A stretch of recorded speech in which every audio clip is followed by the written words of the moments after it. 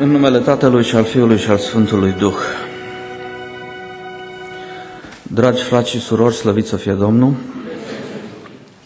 Mulțumim Domnului pentru harul de care ne face parte și astăzi, să fim în uh, adunarea Lui cea Sfântă. Este binecuvântarea pe care o avem și astăzi și să ne bucurăm de harul acesta, pentru că am găsit aici, la Dumnezeu, acea bucurie pe care n-am găsit-o în alte părți, n-am găsit-o în alte locuri, deși poate am căutat-o, cum spunea fratele Ion la început, am căutat și în alte părți să ne găsim bucurie și n-am găsit. Am venit la Domnul și aici ne-am găsit în primul rând împlinire pentru sufletele noastre. Slăviți să fie Domnul pentru aceasta. Um, suntem în a doua zi de doliu național.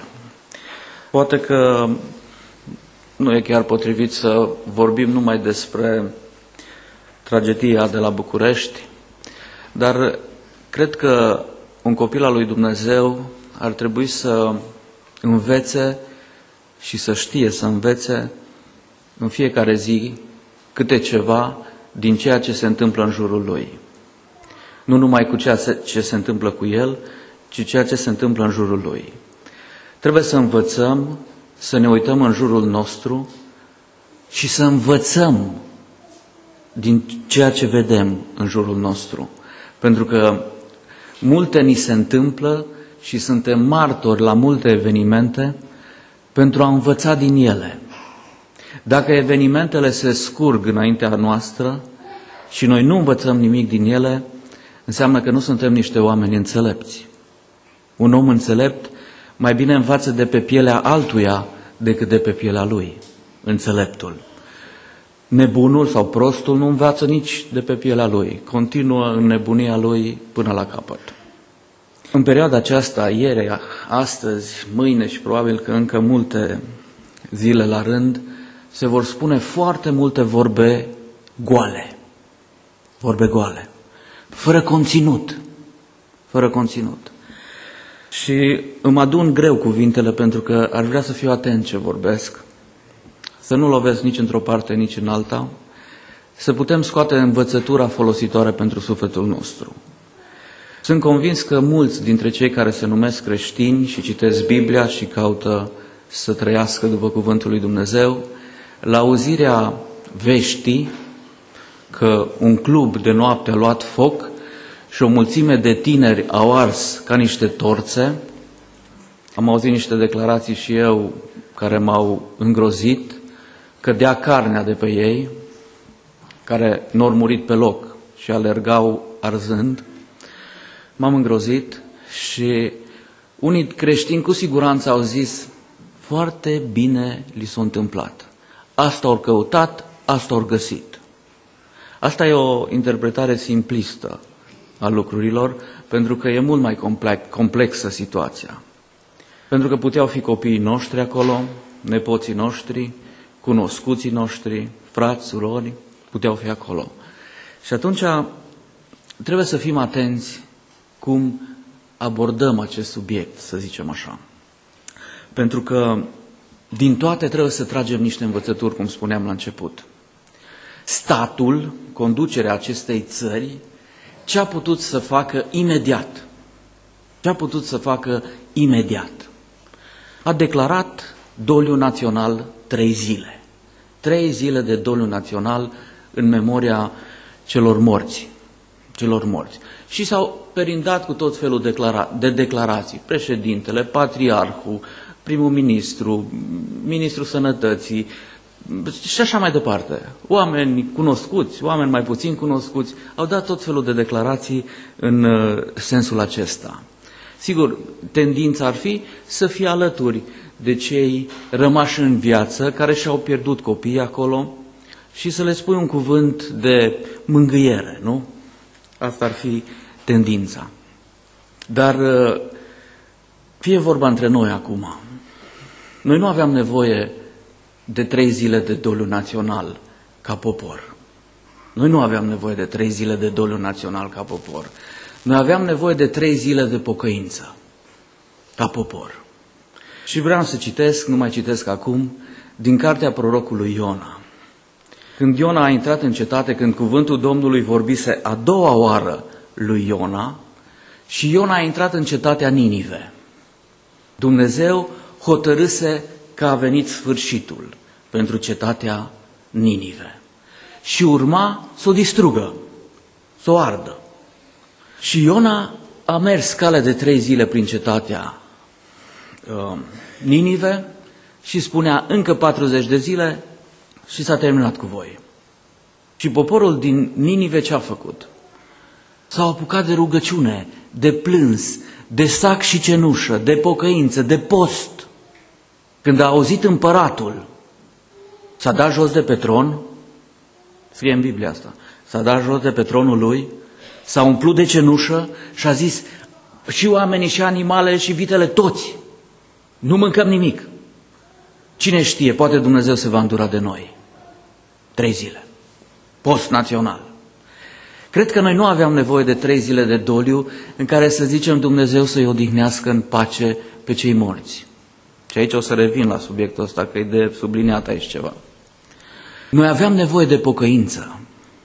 De la președinte, patriarh, conducătorii celorlalte biserici, toți, profesori, învățători, părinți, cum zicea fratele, toți aveam nevoie de trei zile de pocăință. Să ne asumăm, să ne asumăm faptul acesta. Pentru că din pricina păcatelor noastre, ca popor, mai vin și asemenea lucruri peste noi.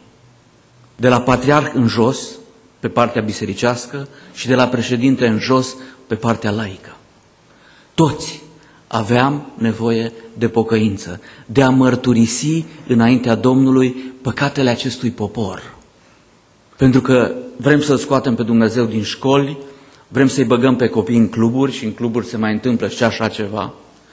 Vrem să dăm tot felul de legi și să adoptăm că comunitatea europeană și lumea și tendința omenirii ne obligă să dăm tot felul de legi împotriva lui Dumnezeu, împotriva lui Dumnezeu, îl sfidăm pe față pe Dumnezeu prin legile noastre și ce facem?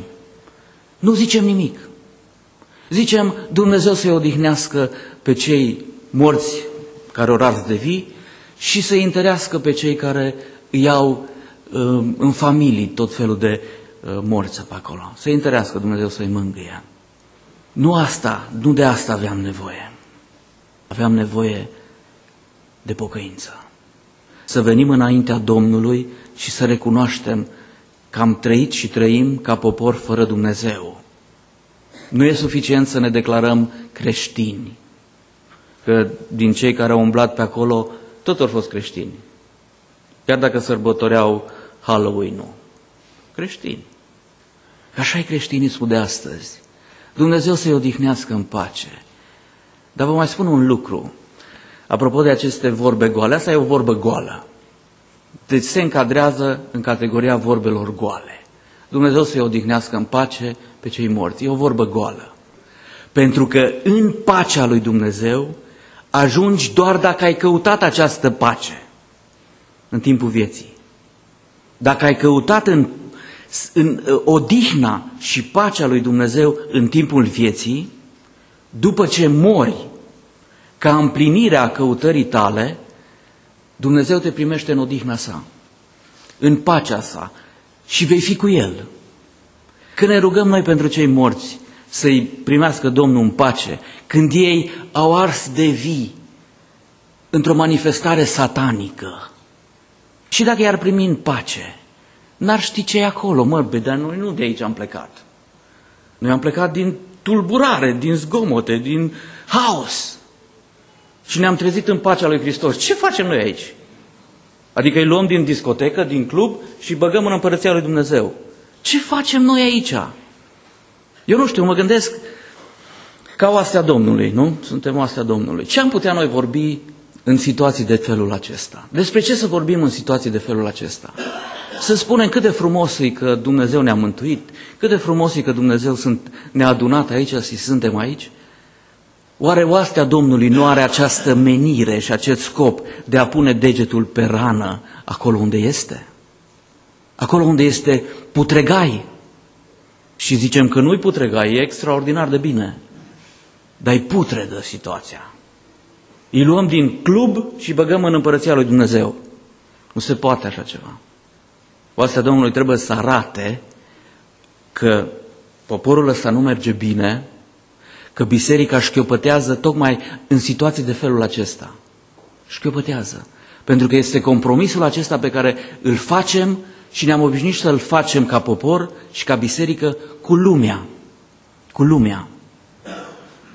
Pe mine mă, mă înfioară ideea asta că eu ca ostaș vorbesc acum, dar aș vorbi, ar trebui să vorbesc așa și ca preot, și ca învățător, și ca președinte de țară, și ca, spuneți frățile voastre, ca profesor universitar și așa mai departe, ar trebui să, vă, să mă înfioare, măi, ce am făcut eu pentru tinerii ăștia ca să nu ajung acolo unde sunt? Pentru că faptul că au ars, să ne înțelegem, faptul că a fost un incendiu într-un club și câțiva dintre ei, din 400 câți au fost acolo, 30 ori ars de vii, 150 îs la un pas de moarte cu arsuri de 70, 80, 90%, încă mai este pe moarte dintre ei. Ăsta e un lucru care e dureros, incre, incalificabil. Dar faptul mai grav este că merg în iad. Oamenii aceștia, tinerii aceștia, cum spunea fratele că nu au fost numai tineri, da, nu au fost numai tineri, merg în iad. Pentru salvarea lor veșnică, ce se face? Ce se face? M-am uitat, am avut curiozitatea asta să mă uit pe, la televizor. Ce arată pe subiectul ăsta? Imagini grele, cu tremurătoare. Dar totul merge la nivelul pământesc ce s-a întâmplat și tragedia care a fost aici la nivel pământesc. La nivel veșnic, nimic. Nimic pentru veșnicie. Ce a fost și care e influența în ce privește veșnicia, nimeni nu spune un cuvânt. Deci, noi trebuie să ne înfiorăm la faptul că uh, tinerii poporului acesta nu îl cunosc pe Dumnezeu. Tinerii care fac parte din biserica noastră nu-L cunosc pe Dumnezeu. Și nu li se spune, cunoaște pe Domnul. Nu li se spune să se întoarcă la Dumnezeu. Li se dă ideea că poate să le împlinească pe amândouă. Și pe cele pământești și pe cele veșnice, atunci când vor fi mai bătrâni. Dar acum cât îți tineri să-și trăiască tinerețea. Fals, greșit. Noi trebuie să spunem poporului să se întoarcă la Dumnezeu. Să se întoarcă la Dumnezeu. Cine nu se întoarce la Dumnezeu nu poate intra în împărăția lui Dumnezeu, nu poate intra în pacea lui Dumnezeu. Cine nu se întoarce la Dumnezeu. Vorbele astea goale pentru mine n-au niciun efect. Și dacă n-am zis Dumnezeu să-l ierte, să-l odihnească și să... nimic. N-au niciun efect. Zero. Vorbe goale în odihna veșnică, în împărăția lui Dumnezeu, ajung cei care le-au căutat în viața aceasta. Dacă ai căutat cu totul și cu totul altceva în viața aceasta, n-ai cum să ai parte de ce n-ai căutat în viața de dincolo. N-ai căutat cerul, n-ai căutat pacea lui Hristos, n-ai căutat veșnicia fericită cu Hristos. Cum să ajungi acolo? Cum să ajungi acolo? Că ne rugăm noi pentru tine, N-ai cum. Trebuie să le cauți. Trebuie să le cauți. Asta trebuie să facem, dragi frați și surori. Să căutăm împărăția lui Dumnezeu și să spunem tuturor, la nivelul la care suntem fiecare dintre noi.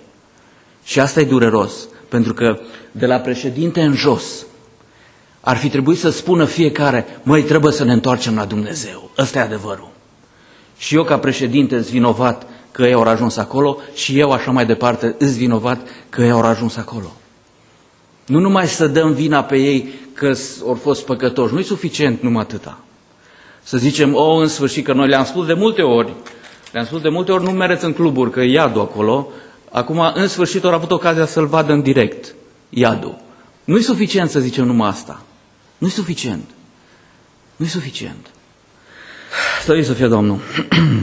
Ar mai fi multe de spus, dar mă opresc aici și aș vrea ca Dumnezeu să ne ajute pe fiecare dintre noi să nu mai folosim vorbe goale, să folosim vorbe cu greutate. Atunci când spui un cuvânt, să știi că cuvântul pe care tu îl spui poate transforma o viață, poate schimba o viață, poate schimba un destin. Cuvântul pe care tu îl spui. Cuvântul pe care tu îl spui îl poate răsa rece, pentru că îl spui un cuvânt gol, fără conținut. Aș vrea ca Dumnezeu să ne ajute și ne, să ne rugăm Domnului să ne ajute să vorbim vorbe grele, cu greutate, cu conținut, adică să fie sub călăuzirea Duhului Sfânt, să fie pătrunse de Duhul Sfânt, de puterea Duhului Sfânt, ca să nu ne înșelăm singuri și să nu înșelăm și pe alții cu nădejdi înșelătoare, ci să aducem în mijlocul nostru cuvântul lui Dumnezeu curat, care ne poate da viață, care ne poate scoate din iad, din iadul acestei vieți, în prima fază și din iadul veșnic în faza a doua, dacă vreți. Slăviți să fie Domnul, numele Tatălui și al Fiului și al Sfântului Duh.